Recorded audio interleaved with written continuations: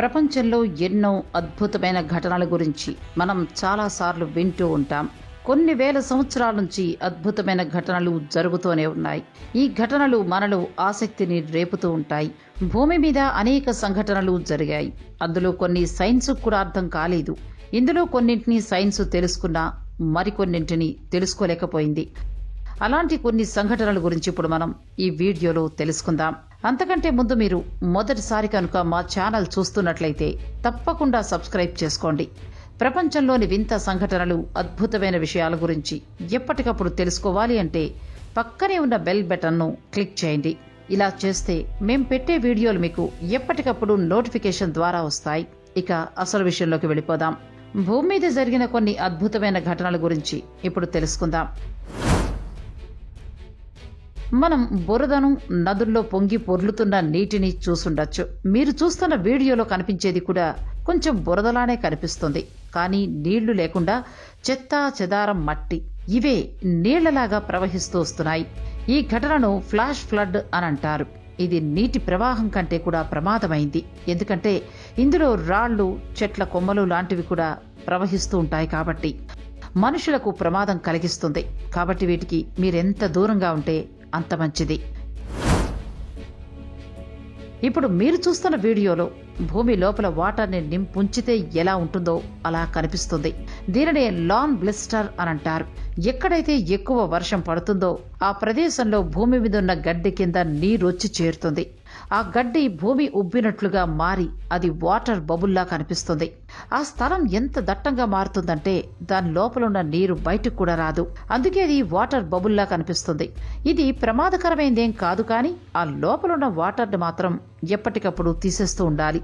కొన్ని కొన్ని ప్రాంతాలలో ఎండ తీవ్రతకు అవే పగిలి నీరు బయటకు వచ్చేస్తూ ఉంటుంది. కొన్ని ప్రాంతాల్లో అయితే మనం తీసేదాకా అలానే ఉంటుంది. ఇవి ఎక్కువ గోల్ఫ్ ఆడే గ్రౌండ్స్లో ఏర్పడతాయి. కొన్ని దేశాల్లో మంచు కురుస్తుంది. అక్కడి ప్రజలకు అది అలవాటే. వాటికి సంబంధించి అక్కడి ప్రజలు ముందే తగిన జాగ్రత్తలు తీసుకుంటారు. సాధారణంగా ఆ మంచు పడే సమయంలో వారి వాహనాలను అక్కడి నుంచి తీసేస్తూ ఉంటారు. కానీ ఐస్ స్ట్రామ్ వస్తే మాత్రం అప్పుడు చేసే పని వేరేలా ఉంటుంది. ఎక్కువ ఐస్ స్ట్రామ్ వచ్చినప్పుడు వాహనాలపై ఒక మందమైన మంచు పొరలు ఏర్పడతాయి. ఆ మంచు పొరలు పగలగొడితే కానీ సాధారణంగా తొలగించలేం. ఒక్కోసారి ఈ మంచుతో కారు డోర్లను కూడా తెరవలేకపోతాం. అలాంటి సమయంలో ప్రజలను అప్రమత్తంగా ఉండమని హెచ్చరిస్తూ ఉంటారు. ఎక్కడైతే నిర్మాణాలు జరుగుతూ ఉంటాయో సరిగ్గా ఇన్స్పెక్షన్ చేయాల్సి ఉంటుంది. ప్రధానంగా పెద్ద పెద్ద భవనాలు నిర్మించే సమయంలో చాలా జాగ్రత్తలు తీసుకోవాల్సి ఉంటుంది. ఇలాంటి ప్రాంతాల్లో భూమి నాణ్యంగా ఉండడం చాలా ముఖ్యం. ఒక చోట నిర్మాణం చేసేటప్పుడు ఇన్స్పెక్షన్ టీం ఒక విచిత్రమైన సంఘటనని చూశారు. అక్కడ భూమి ట్రాంపోలియన్లా బౌన్స్ అవుతూ ఉంది. ఆ ప్రాంతంలో భూమి బుడగలా ఉంది. పూర్తిగా ఎండిపోయిన తర్వాత కూడా ఆ భూమి అలా ఎందుకు ఉండిపోయిందో ఎవరికి అర్థం కాలేదు. మొదట్లో భూమి కింద ఉన్న వాటర్ వల్ల అది అలా మారింది అని అనుకున్నారు. అయితే దాన్ని తవ్వి చూశారు. కానీ అక్కడ నీరు లేదు. మరి ఎందుకు ఇలా మారింది అని అంటే ఈ భూమిలో లోపల గుంతలుండి అందులో నీరుంటే దానిలో నీరు తీయకుండా వాటిని మట్టితో రాళ్ళతో నింపినా కూడా అది బుడగలానే కనిపిస్తుంది. అంటే ఆ గుంతలో నీరు తీయకుండా మట్టితో నింపినందువల్ల అక్కడి భూమి అలా మారిందన్నమాట. ఫిజిక్స్ ప్రకారం గ్రావిటీ వల్ల ఏ వస్తువైనా పైకి వెళ్ళింది కిందికి రావాల్సిందే. అది ఎంత తేలికపాటి వస్తువైనా సరే కిందికి రావాల్సిందే. కొన్ని కొన్నిసార్లు ప్రకృతికి విరుద్ధంగా కొన్ని పనులు చేస్తూ ఉంటారు. రాళ్ళు ఒకదానిపైన ఒకటి పడకుండా పెట్టచ్చు. అది కూడా కొద్దిసేపటి వరకే. వాటిపై పెద్ద రాయి పెట్టామనుకోండి పడిపోతూ ఉంటాయి కదా.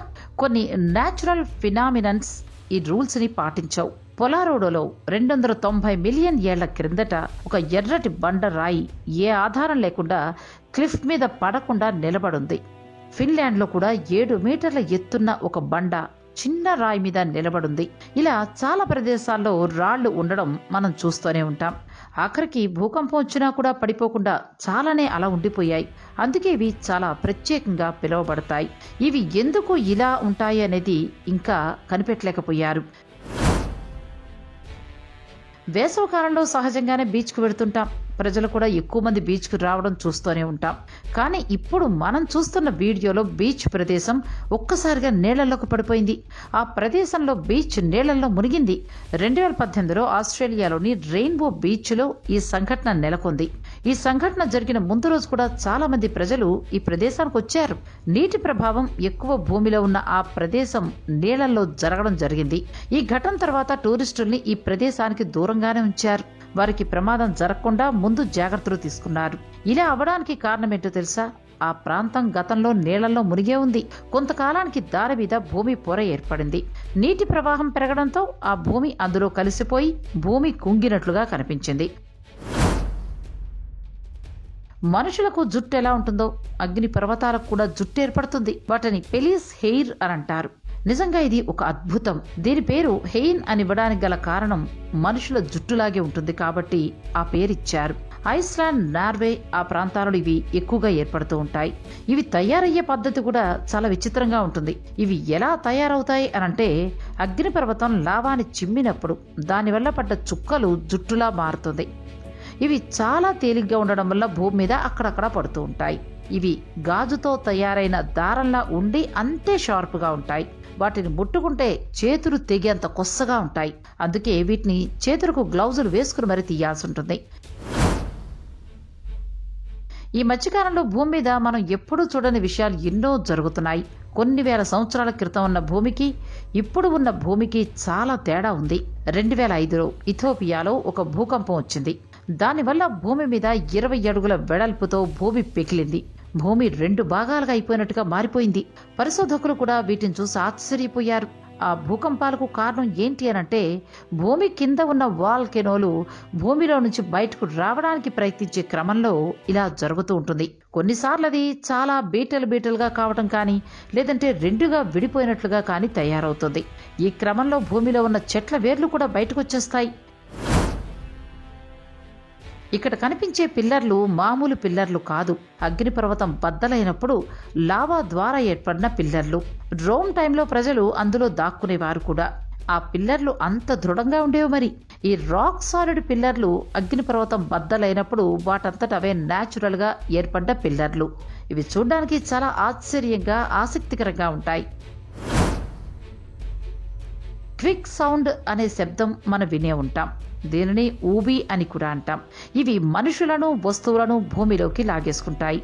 మనకి చెట్టు కొమ్మల లాంటి సపోర్ట్ ఏమీ లేకపోతే మనం కూడా భూమిలోకి వెళ్ళిపోతాం.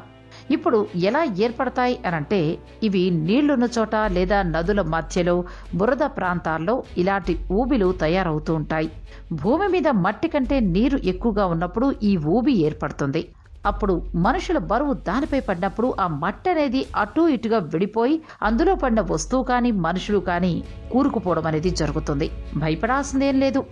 ఇప్పుడు మనుషులు మొత్తం కూరుకుపోయేంతగా ఊబులు ఏర్పట్టలేదు సో ఈ వీడియో మీకు నచ్చేసింది అనుకోండి లైక్ చేయండి షేర్ చేయండి. మా ఛానల్ను సబ్స్క్రైబ్ చేసుకోండి.